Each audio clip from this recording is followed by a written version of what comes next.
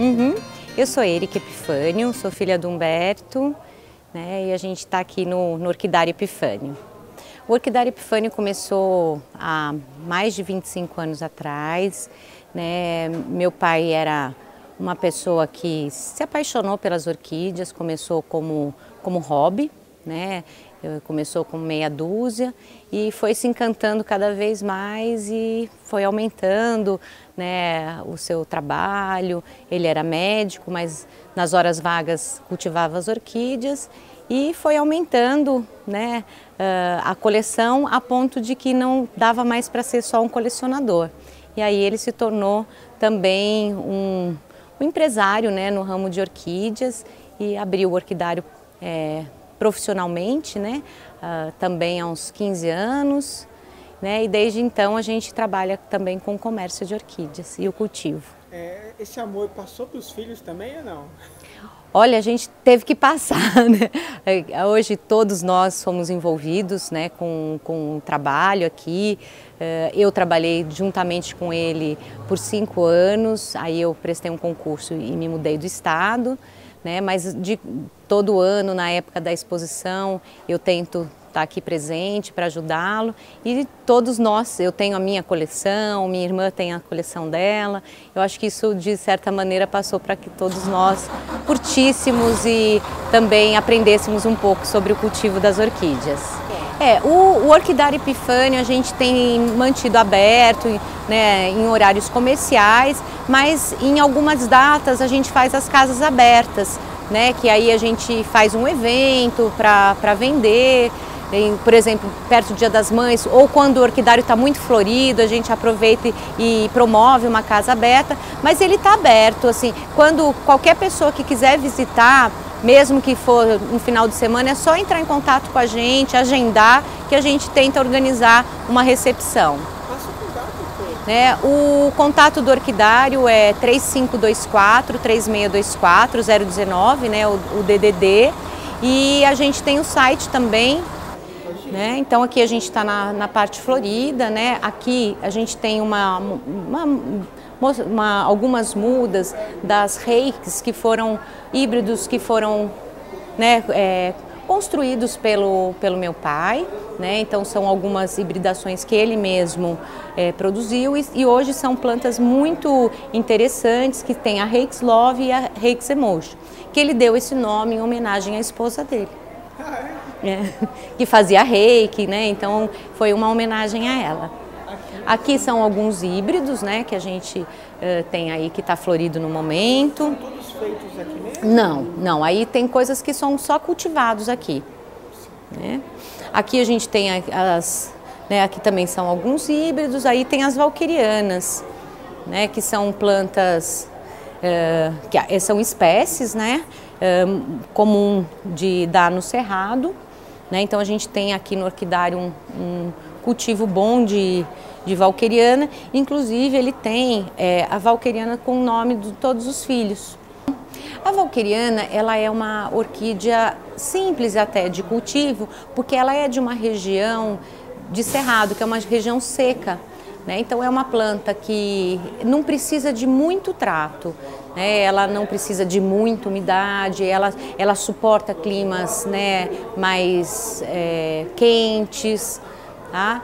É, logicamente que quando ela está na natureza, ela está próxima a cachoeiras.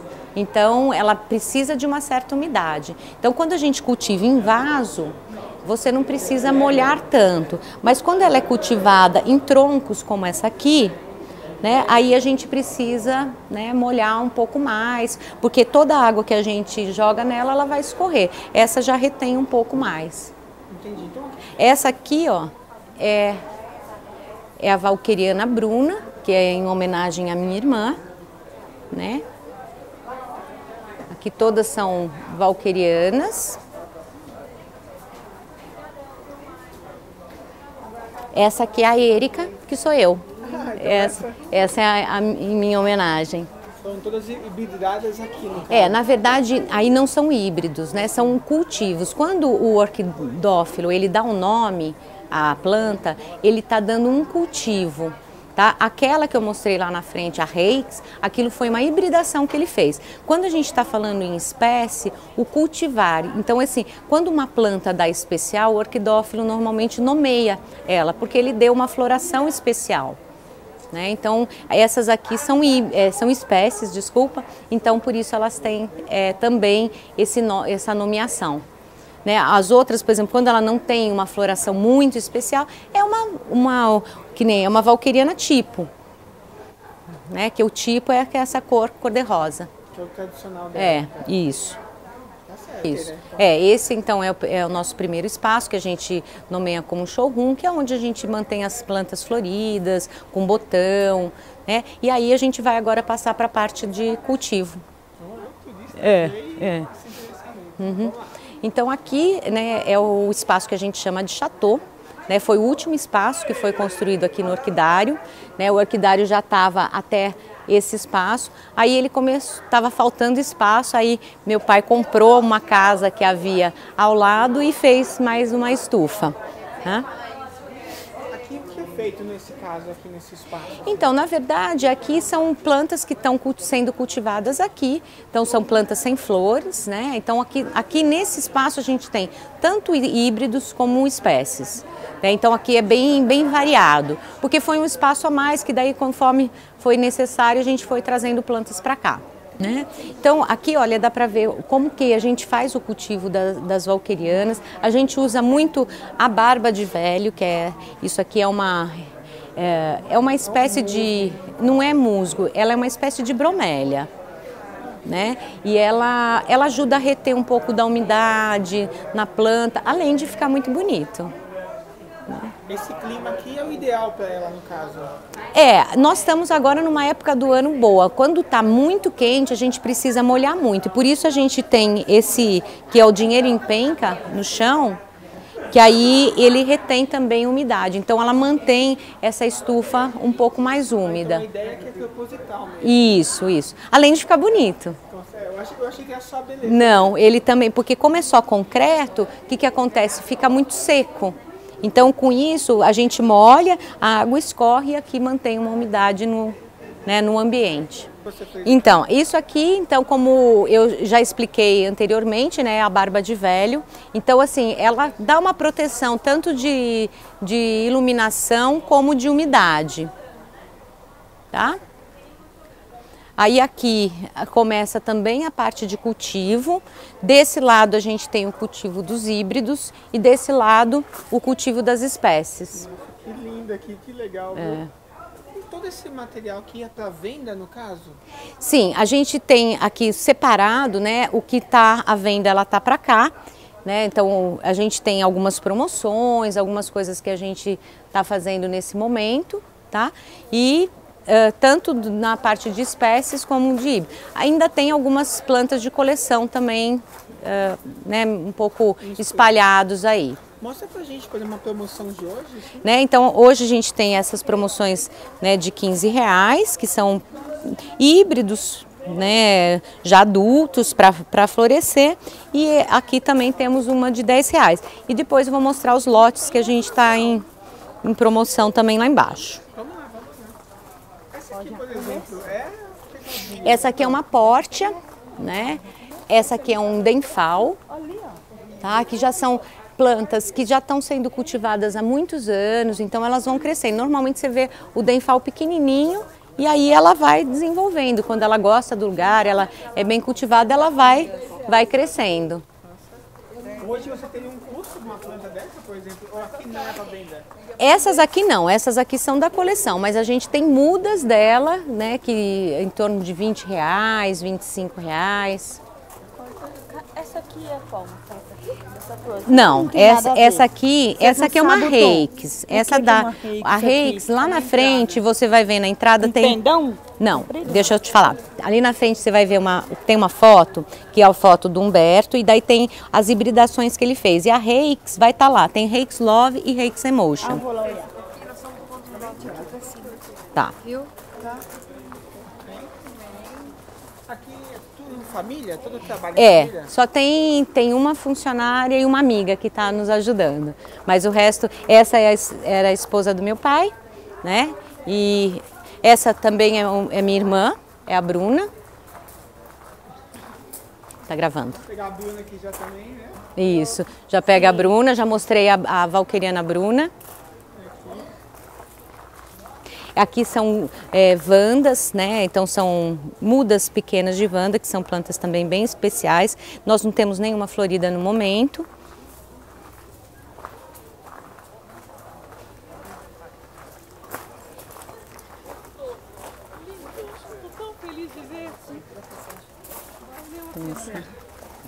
É, é, obrigado. Quem que é filha? Ela, né? Ela, ah, essa é. E, bom, aqui, né, então são as plantas de coleção que a gente está disponibilizando para venda. Tem algum, os lotes promocionais, né, que eh, são lotes que a gente fez com um bom desconto, tem de 40% de desconto e 50%. Tem um lote desse hoje, sairia quanto? Ó, esse lote aqui está saindo 138 reais, tem uma espécie e cinco híbridos. Né? Tem as, a- as fotos né, das plantas que fazem parte do lote. né? Então isso foram. A gente tem quatro lotes diferentes. Tá? Aí aqui é o cultivo das vandas. Então, o- a Wanda são, ela tem essa característica das raízes aéreas, então elas precisam de um ambiente mais úmido, né, que, e precisa de muito mais irrigação. Por isso que ela está aqui, né, ela está aqui em cima desse, desse laguinho, né, que mantém uma umidade maior. Então a, dependência é muito maior, caso. Isso. Hoje o valor em média aqui tá quanto da Wanda? Da Wanda, olha, é um vaso desse que deve florir num uns dois anos, está 70 reais. Um vaso grande, já florindo, está em torno de 100, 120. Aí vai variar um pouco da espécie da Wanda e do tamanho dela. Do outro lado aqui, Aqui são híbridos variados, aí tem algumas flores aqui que que estão mais de, de amostra, né?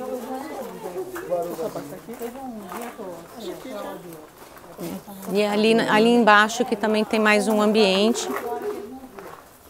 Não acaba, hein?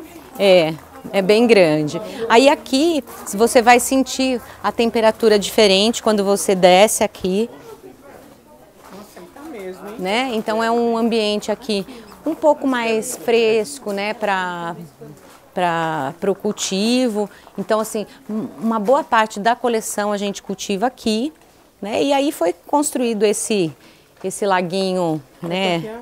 É a, é coleção do seu pai. Isso. Né? Não que to- esteja só aqui, mas principalmente aqui. Nossa, Né? o Porque aqui o é clima ótimo. aqui é, é um clima diferenciado. Tem alguma especial assim que ele gostava? Assim? Olha, é, ele se apaixonou muito pelas orquídeas, então ele gostava muito de várias delas. As valquerianas é nítido, né? Como ele se apaixonou, tanto que ele nomeou todos os filhos com, com as valquerianas. Mas ele tinha uma paixão específica por semialbas, que são as, as orquídeas brancas que têm um labelo cor-de-rosa ou, ou amarelo.